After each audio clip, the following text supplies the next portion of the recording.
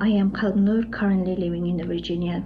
My sister Renagul Gheni, she was a teacher, art teacher and literature literature teacher when she was detained to mass concentration camp by Chinese government in 2018. When she was detained, there wasn't any excuses given to the, my family or like there wasn't any trial for first for the first few years. Here is my sister photo and this is her Chinese ID this is her youngest son. And this is my last photo is my sister when I was visit my home in 2016 during the school holiday.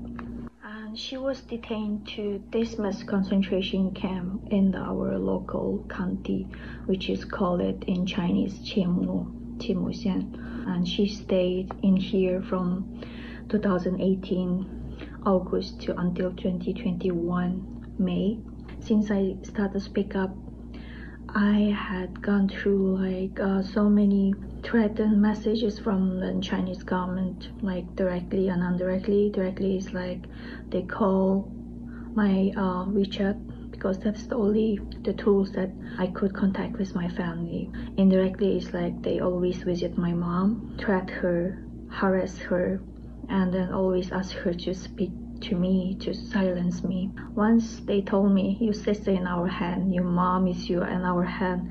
If you don't listen to us, if you don't delete your testimony videos from the Twitter, you will never ever gonna see your sister alive or you'll never see your mom alive.